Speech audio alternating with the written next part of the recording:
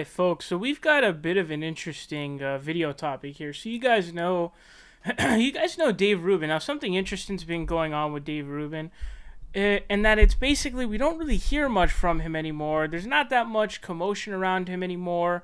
And uh, recently, he announced that he's putting out his book, which, by the way, and I didn't know this when I made my video. His book, this is just a pre order. His book doesn't even come out until April guys, we're in August right now, end of August, and he's selling a he's selling a book that's gonna be you know pre-order for April, dude. That's like that's almost a year away. It's like eight months away uh, from now, and he's selling it for pre-order, which is absolute insanity. And I didn't know that, but apparently, and I don't know if this is true, but I read that basically he needs some sort of motivation to write the book, and so he needs to set a deadline or something like that. So basically, what that means is he's so lazy that he can't even put the book together, is what that means. But uh, in addition, we really haven't been hearing from Jordan Peterson at all either, to be honest. I have not.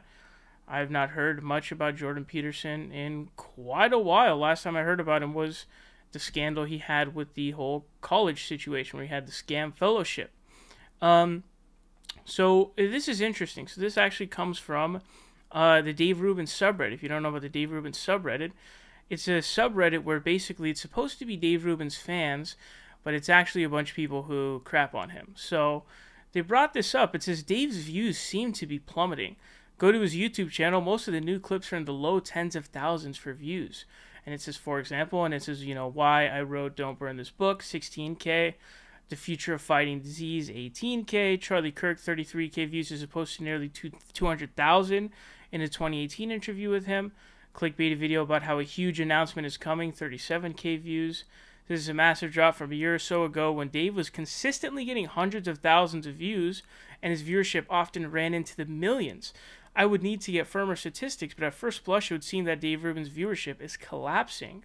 And it says even these low numbers may be exaggerated insofar as a good chunk of the viewers are simply trolling Dave this can be seen from a quick look at the comment section of any of the videos to which I linked, which we will do that in a second here. So this is a very interesting notice here. And so if we just sort of, uh, first we can just kind of glance at his channel page. The views are pretty low. You know, you got 5.2K this posted 18 hours ago. You know, 7.1K. You know, 19K. Like, these are low numbers for a channel like this, of this size. This channel has like 800,000 plus, I believe, subscribers. So getting those kinds of numbers on a, on a video like the, on videos like these are really really bad on this channel. It really is terrible, and all it really explains to you why. It's pretty basic, okay? Like some random guy, like I don't know who Jamie Metzl is, but like, and I don't know who the heck Brendan O'Neill or any of these guys are, but these people are not the people who bring in. They are not the gravy train, okay? The gravy train for Dave Rubin has always been it started out with Sam Harris. That's how he originally got his show off the ground was by having Sam Harris on his show. Those videos would get a bunch of views. And then it turned into a combination of Ben Shapiro and also uh, Jordan Peterson. And also, he also hopped on the Milo Yiannopoulos train. He's a big time trend hopper. He's kind of like Drake. You know, Drake would go to like uh, hop a bunch of trends like with YG and you know with uh, Future and with The Weeknd and everyone. He just hops all the w- waves and trends. That's what he does. Remember, he was on the Sam Harris train. That's what kicked off his show. Then he ditched him completely. They barely talk anymore. You know, uh, Milo Yiannopoulos totally ditched him once it got even slightly controversial. Uh, you know, then Ben Shapiro and Jordan Peterson are the last people standing, and even they don't seem to have done anything in quite a while. But you know, those are the people who are his gravy train. Ben Shapiro and Jordan Peterson, the people who break in the views. And that's why he kept bringing them on. He would keep bringing them on over and over again because no one wants to watch any of these other interviews. These other interviews suck.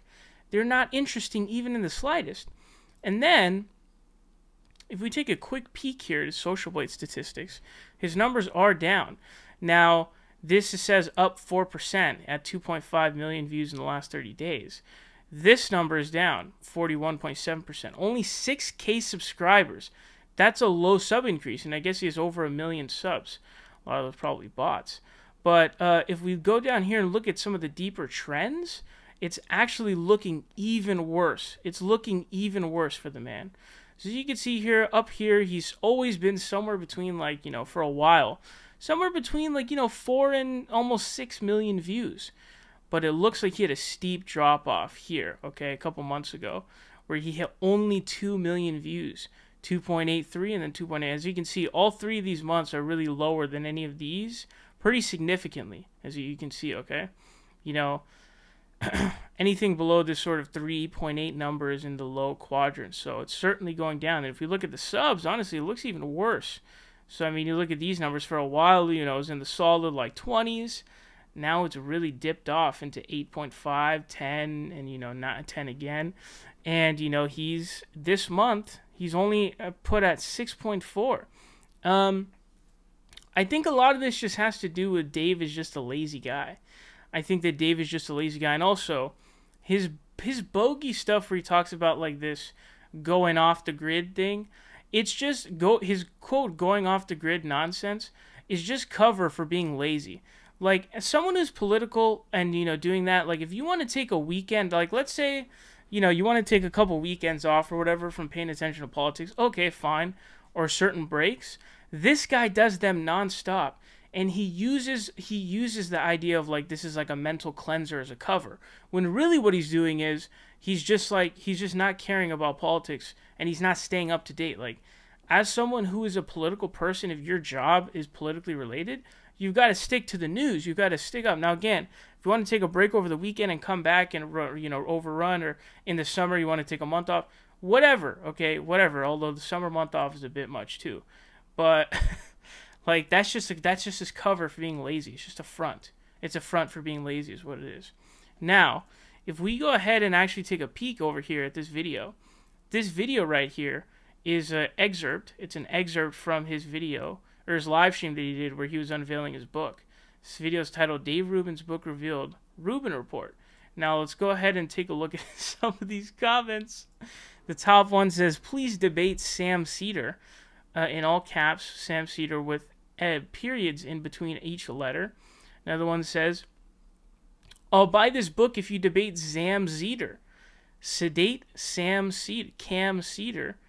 You should get Sam Seder with, you know, dollar sign at to write a foreword to the book. No one says you are the magic, David. All flows from you. You should challenge the sucker, Sam Seder, at the Majority Report to a debate. Good job on the book. I'm glad to see so much competition in the marketplace of ideas. Also, you should debate Sam Seder again with the dollar signs. And it just says debate Sam Seder with the dollar dollar signs. Now, if you're wondering why everyone is doing this instead of just putting Sam Seder, it's because it is alleged that he has shadow banned the the name Sam Seder from his comment section. Uh, you know, another one says debate Samuel L. Sederson. You could destroy Sam I am Cedar in a debate. Book should be called I've done 99 interviews, but Sam Seder ain't one. There's just a, it's this is everything, dude. Are you afraid of slam speed? Like all of this is just it's flooded with this. This is basically all you can find, and I don't even know how this happened because it's pretty tough to have a comment section 100% flooded with any sort of comment, one specific comment, but it seems like it's happened. Now, whether or not I'm really for this, like, it, it's kind of creepy, honestly. Like, if I were Dave Rubin, I would look at that, I'd be like, I'd be kind of creeped out and weirded out. And, um, I don't think this help. I don't think it helps anything. I don't know. I just don't feel like that is it's certainly not going to change his mind about having a convo with Sam Seder. Obviously, it's not going to do that. But I just don't know what it really does. But I guess it's funny, but it is kind of weird at the same time. Uh, some of the ones are like debate Yam Yeater and just stuff like that, which eh, I find I find to be fairly funny. I Find to be fairly funny. I can see how those are funny, but Dave, it looks like Dave's uh, audience really is plummeting. It really does seem that way, and it's mainly because he's kind of a lazy guy. You know, he remember the video that I did about the Jordan Peterson fan who roasted Dave Rubin because basically she was like, "Oh, like I'd hate to be Dave Rubin doing like these sad opens for Jordan Peterson shows and that's your career." He's just like he's he's a lazy guy who does this little work for some money. Now he's putting together a crap book which some people are saying he's not even writing the book. Some people are saying he's having the book ghost ghost written. You know, like a lot of people have their books ghost written where they don't actually write the book and then they just put it out under their name, but someone else wrote it you know, which is also possible. Um, I also found this the alleged detail that he needed a date to motivate himself to put this book out. I found that to be pretty, funny as well, and I think the book is going to be a pretty massive downfall. I also haven't heard much from Jordan Peterson in a while either. I'm not exactly sure why, but he's making bank. That dude pulls between seven and ten million dollars um, a year, so you know that guy. Uh, he's certainly making a lot of money. I think Dave Dave wants to really do it, but again, man, if we if we just look down here, man, he's really he's really struggling, dude. I mean, if you just look at these right here, just oof, just really bad. Like 16k, 5k, 7k. He's struggling, man. He's struggling, man. Anyways, let me know your thoughts on this down below. Very curious to hear them.